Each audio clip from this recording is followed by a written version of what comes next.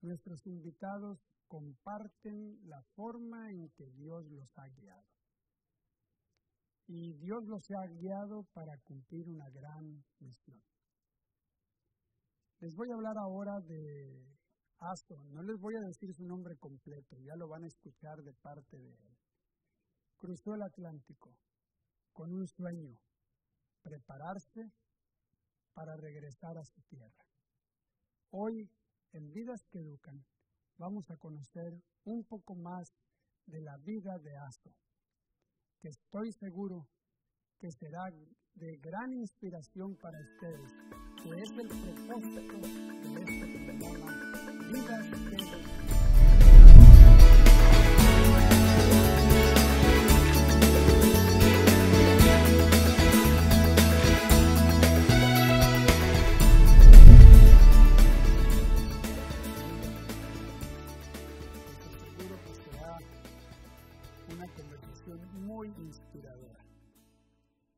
Yo te anuncié con un nombre muy breve, apenas tres letras, ASO, pero tu nombre es más largo. Y aunque yo dije que habías cruzado el Atlántico, no dije de dónde venías. Así que dime primero tu nombre completo. Mi nombre es Yaño Astogbavi. Ñañó Asobabi. Hue Yaño Astogbavi.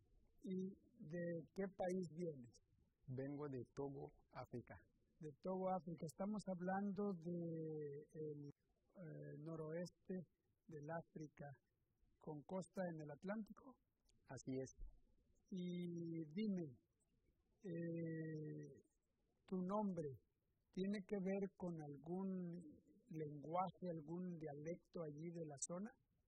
Así es. Eh, el nombre huellaño está en dialecto paterno que se llama fon. Fon. Y huellaño significa dos es mejor que uno. de veras. ¿Y por qué, eh, y por qué dos es mejor que uno? ¿Por qué decidió ponerse así tu papá? Aunque mi papá se casó con dos esposas. Oh, Y la primera esposa tuvo por mujeres sí. y él quiere un varón y se casó. Mi, mi mamá también ya se casó con otro hombre, tuvo sus hijos y falleció su esposo correcto. y se, eh, se casaron y el primero que nació varón fu- fue yo. Y ahí dijo que no quiere nada más solo un varón, quiere, él quiere más varones. Por eso me dio ese nombre que dos es mejor que uno. Que un varón nada más dentro de mujeres no le gustaría Ah, muy bien, es decir, con tu nombre expresó el deseo de que vinieran más hombres. más hombres. Es decir, está muy bien que nació este muchacho, pero dos sería mejor que uno. que uno. Y mira qué bien. Ese, fue- ese fue el nombre que te puso. Así es. Mira qué interesante. ¿Y el otro nombre? El, eh, es apellido, Es apellido. Astogbavi.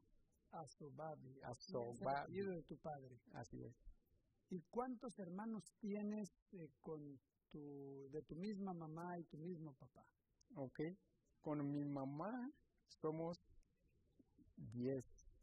Y lado de la otra esposa de mi papá son 8. Y total somos 18. 18. ¿Y 18. cómo te conoces con todos? ¿Te conoces bien con todos? Bien, bien. ¿Sí? ¿Vivían cerca la- tus otros medios hermanos?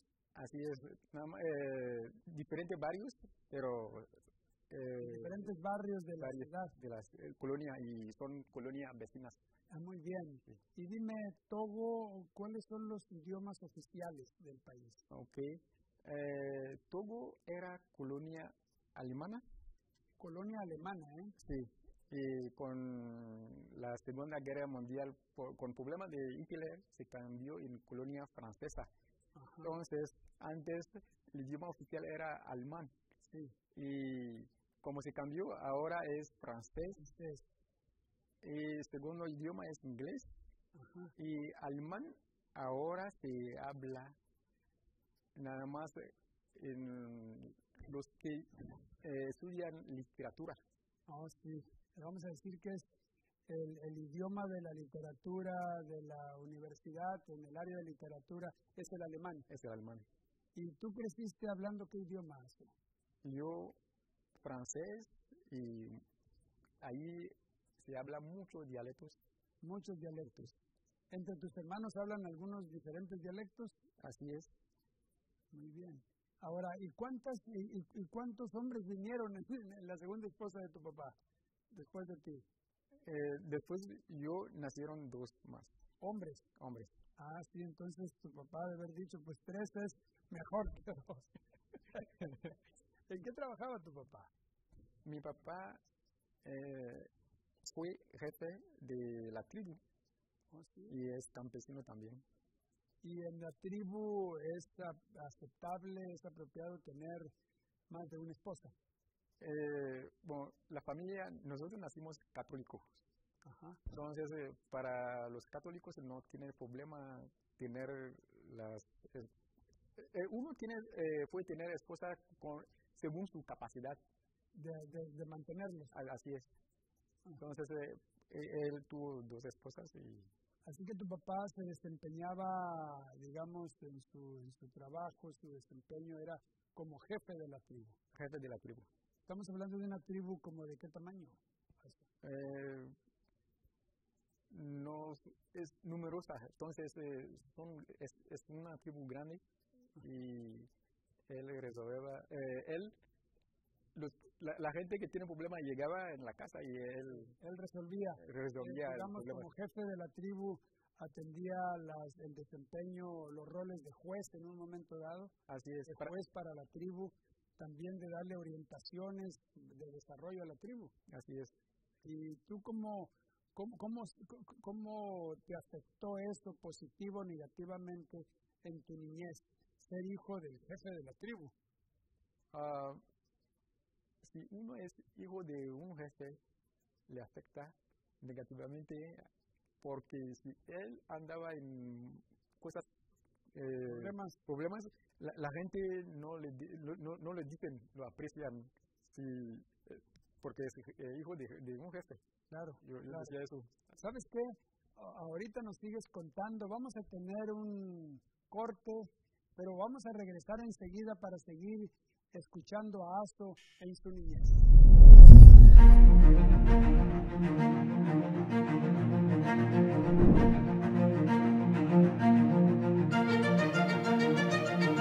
¿Te gusta pensar en soluciones tecnológicas que podrían cambiar el mundo? En la Facultad de Ingeniería y Tecnología de la Universidad de Montemorelos queremos que formes parte de nosotros. Si quieres desarrollar tecnologías para resolver problemas por medio de la ingeniería en sistemas computacionales, diseñar y gestionar proyectos automatizados y sustentables por medio de la ingeniería en electrónica y telecomunicaciones, facilitar soluciones por medio de la ingeniería en gestión de tecnologías de la información, optimizar recursos organizacionales por medio de la ingeniería industrial y de sistemas. Facultad de Ingeniería y Tecnología. Para los que quieren innovar por medio de la tecnología, Universidad de Montemorelos. Sumar para un mundo nuevo. Más información en um.edu.mx. Qué bueno que se han quedado con nosotros en Vidas que Educan. ¿Y qué vida la de Aso? 18 entonces en familia.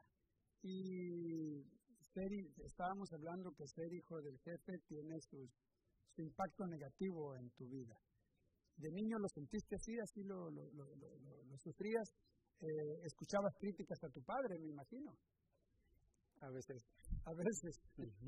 ¿Y dónde estudiaste tu educación básica? Yo estudié en un una aldea que es como Montemorelos, se llama Gley. Ajá, allí estudiaste, ¿cuántos años son de escuela primaria? Son seis años, Seis años. ¿Y luego estudiaste la educación media? sí, que son cuatro años. Cuatro años.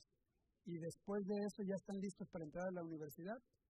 Eh, la prepa son tres años. Ah, entonces estamos hablando de seis años de primaria, cuatro de secundaria y tres de prepa. Sí. Estamos hablando de 17 años en total antes de entrar a la universidad. Así es. ¿No entraste a la universidad ya en ninguna carrera universitaria? Ah, estudié un año inglés y luego trabajé en la farmacia allá en oftalmología adventista que está ahí. Ah, sí, trabajaste en la, en la clínica de oftalmología, ahí. la clínica de oftalmología adventista que está allí. Ahí. Y hablando de, de, de, de la clínica adventista, ¿cómo tuviste contacto con esa clínica? ¿O tuviste primero contacto con la iglesia adventista o primero con la clínica? Primero el contacto con la iglesia. Ah, sí. ¿Cómo lo tuviste, Astor? Aunque yo, yo soy árbitro de fútbol. ¿Eres árbitro de de fútbol? ¿Á- ¿Árbitro profesional? Ah, estudié, ¿Ah, sí? pero lo que pasó es los exámenes son el día sábado. Entonces no hice mi, Ya, mi- ya habías entrado en contacto con la iglesia antes de terminar tus estudios de, de árbitro. sí, pero como me buscaba, entonces eh, un día estaba arbitrando un partido de en- nosotros niños, ¿no? Y llegó eh, un, bueno, un blanco, nosotros un blanco en la cancha. Cuando terminamos, el partido terminó, me acercó y me felicitó. ¿Ah, sí? Y él habla poco francés. Entonces ahí empezamos a platicar y me preguntó de qué religión soy y yo, yo- yo le respondí que soy eh, católico. Y ahí, de ahí me estaba preguntando cómo nosotros hacemos nuestro culto. Y que el día domingo él va a acompañarme para ver cómo hacemos nuestro culto. Mira, Pero es un señor que tiene, eh, en, este momento tenía como 40 años, alrededor de 40 años. Y ahí yo también decía que bueno, el día siguiente, era un viernes por la tarde, el día siguiente yo también voy a acompañarlo en la en la iglesia de él. de él. Yo no sabía que no era adventista, pero es un turisco- eh, turista Sí. ¿Cómo dicen a los blancos que ahorita casi te, te- se te salía la palabra? ¿Cómo decías? Estaban Blanco. Es, es como aquí con cariño la gente dicen moreno o negro, ¿no? Sí, Ahí nosotros también llamamos blanco al blanco, un a blanco, blanco, así. un blanco. sí. Ajá. Y de ahí, cuando le decía que voy a acompañarlo el día siguiente el- el día A tu iglesia. a su iglesia, yo no sabía que no era adventista. Sí. Y me, dio, me, me ace- aceptó. Y el día eh, siguiente me alisté, fui temprano. Y él toqué su departamento y abrió. Y me dijo, un momento. Y la, la manera me vestí, él también se fue a vestir. Era camisa blanca, pantalón ne- negro. Sí. Y él igualito, Igual que tú. igual que yo. Y Mira, fuimos a la iglesia y el día siguiente, domingo, como él es eh, oftalmólogo, hizo cirugía y eh, su lunes nada más él iba, ah, se iba a regresar. ¿De dónde era? eh, sueco. Sueco. Sí. Era de Suecia, de Suecia, había venido directamente. Sí, así es. Entonces, eh, él no tuvo oportunidad para ir conmigo en la iglesia. Entonces, él se quedó a hacer el reporte de la cirugía que él hizo. Y cuando él se fue a su país, me regaló, me mandó por paquetería uniforme de su equipo nacional de su país. Así de la Selección Nacional de Suecia. Así es. ¿Y quién recibió este regalo? Mi regalo fue el doctor Luis Carlos Grau. Muy bien, claro. Y de ahí parece que le mandó mensaje que hay que hablarme, evangelizarme. Claro. Le dijo, te mando este uniforme, ponte en contacto con él y háblale de la palabra de Dios. Así es. Y en esto, en el momento que él estuvo allá, doctor Grau también estaba hablando, evangelizando, eh, hablando de, la- de- de Dios a él. Ah, sí.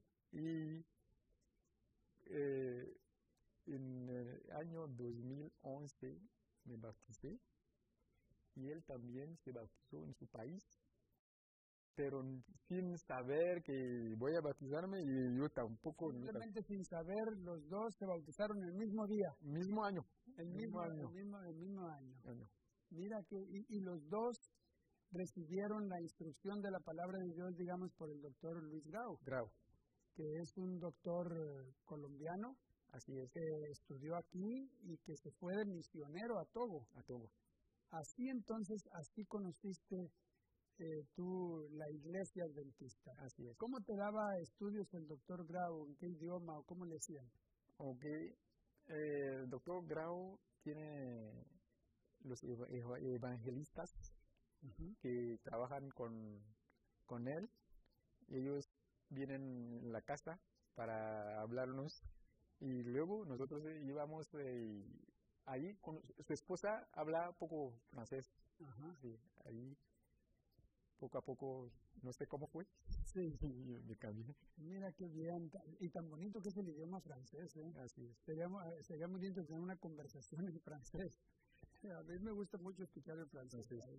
Y entonces a través del doctor eh, Grau conociste de Montemorelos. Así es. Te nació el interés por venir a estudiar. ¿Y a estudiar qué? ¿Qué querías estudiar? Yo, eh, como doctor Grau es oftalmólogo, él quería que yo fuera a estudiar eh, medicina. y luego la residencia en oftalmología. Así es. Y el año 2013 llegó Pastor Israel Rivera. Rivera. Con su, junto con su familia, esposa y doctor eh, Rivera también. Doctor Eric Rivera, que es el, hijo. El hijo.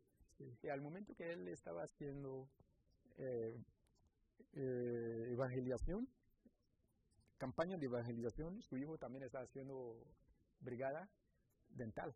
Mm, muy bien, eh, mira, vamos a hacer una cosa. No se vayan. Vamos a regresar después de este corte para escuchar cómo es que Dios guió a Aso en su vocación. Enseguida regresamos.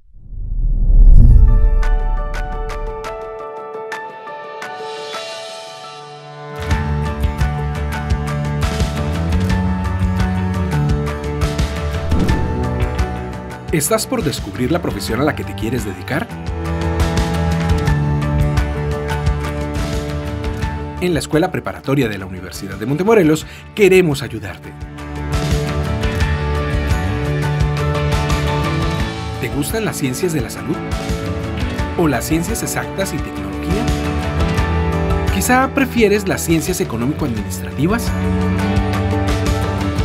¿O las humanidades y comunicación? Para ti, que tienes sueños y estás por definir tu futuro, Escuela Preparatoria de la Universidad de Montemorelos. Sumar para un mundo nuevo. Más información en um.edu.mx.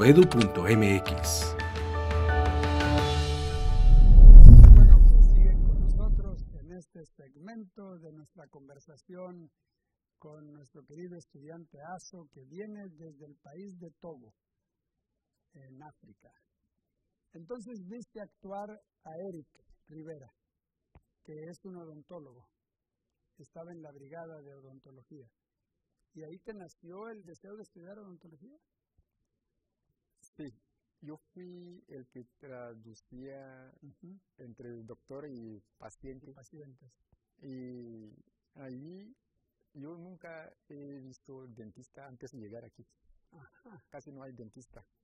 Entonces, eh, y también, eh, desde que nací, mi papá perdió todos sus dientes.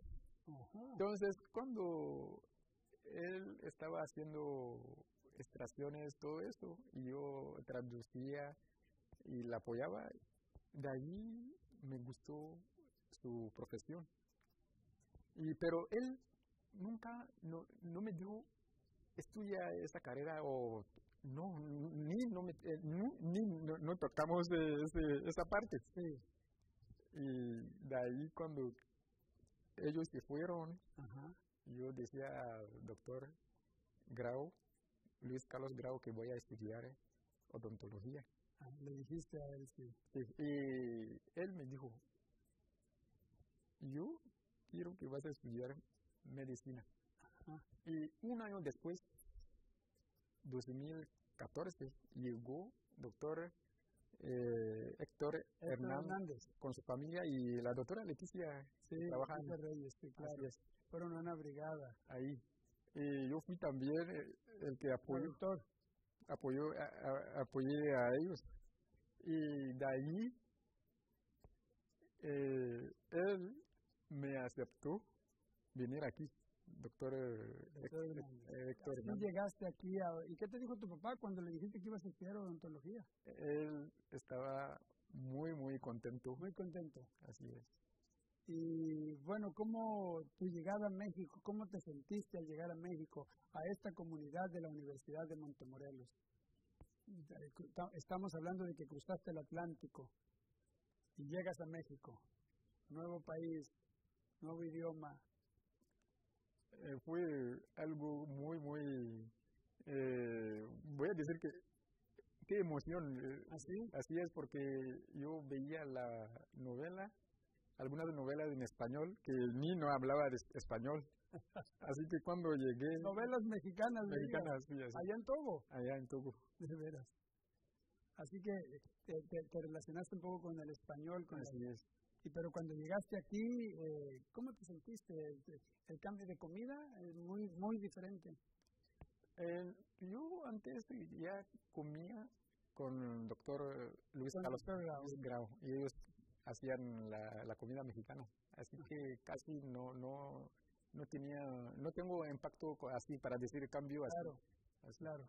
¿Y tu carrera de odontología, cómo la cursaste? ¿Cómo te sentiste con la carrera de odontología? La verdad, eh, mi segundo año, tercer semestre, me costó un poco porque la conversación así en español con alguien es diferente que eh, en la carrera, ¿no? Ya es palabra técnica y todo eso y al cruzar la materia cabeza y cuello me costó un poco, así, pero gracias a Dios. ¿Las prácticas cómo han ido? Prácticas muy bien, gracias a Dios. ¿Y eh, piensas tomar alguna especialidad en la odontología? Es mi sueño. Quiero... qué, qué especialidad quieres tomar? Mi primera opción es eh, maxilofacial. Maxilofacial, ¿eh? Sí, mi primera opción, así es. Ah, ¿Y qué planes tienes con respecto a tu futuro? Me imagino que tienes muchos desafíos. ¿Qué planes tienes con respecto a tu futuro y regresar a tu país y, y, servir a la, a la comunidad? ¿Qué planes tienes? Mi plan es regresar a mi tierra, pero antes de regresar, ir preparado porque tengo 34 años. Al regresar allí al ir y regresar aquí para estudiar eh, una especialidad no sería no, sería bien para mí y mi primera idea o sueño eh, prepararme completo y antes de irse es ir de una vez con toda tu especialidad. Así es. ¿Y en, durante la carrera has tenido oportunidad de ir a algunas brigadas o de hacer algún trabajo comunitario? Sí. Fui, yo estuve en Club eh, Alma.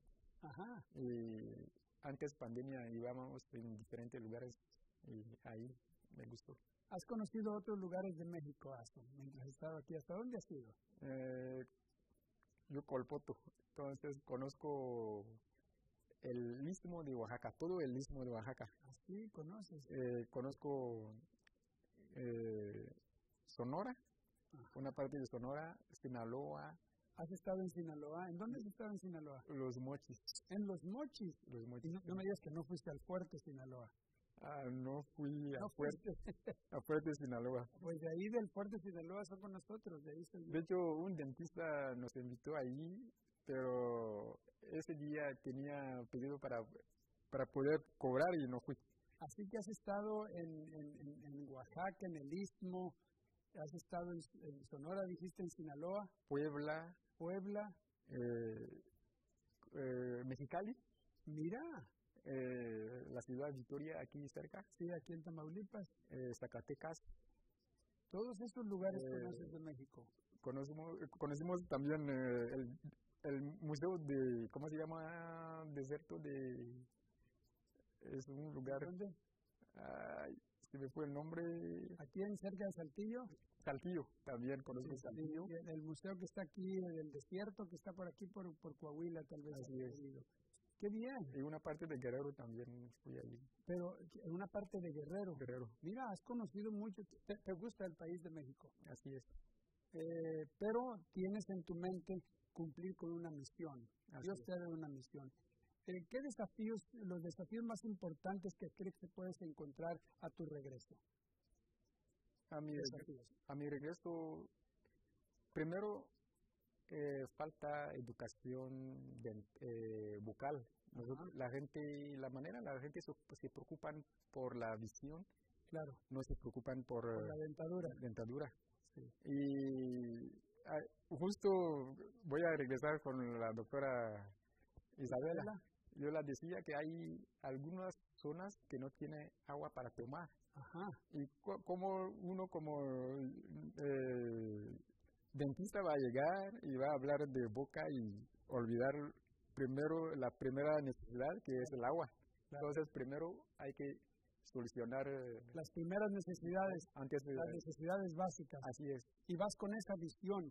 Esa es una visión muy importante y, y qué bueno porque serás, vas a modelar un desarrollo. Las personas que vienen a este programa ASO eh, contestan 10 preguntas que te voy a hacer ahora, para que las contestes rápido. Dios, primero, segundo o tercero en tu vida. primero Título de un buen libro. desafía tus límites Muy bien. ¿Cuál es tu palabra favorita? esperanza Esperanza, qué bien. ¿Qué prefieres, reír o llorar? reír ¿Qué va a ser lo primero que le dirás a Jesús cuando lo veas? que me llevará ¿Cuál ha sido tu materia favorita? cabeza y cuello ¿Y cuál ha sido una que no es favorita para ti? casi eh, me gusta todo ¿Qué, prefieres, letras o números? un número Dime qué, en una palabra, ¿qué le puedes enseñar a otro? Una palabra. perdonar Muchas gracias, Aso, por estar con nosotros el día. Que, Dios te bendiga. Cruzar el Atlántico con un sueño. Venir a prepararse con la idea de regresar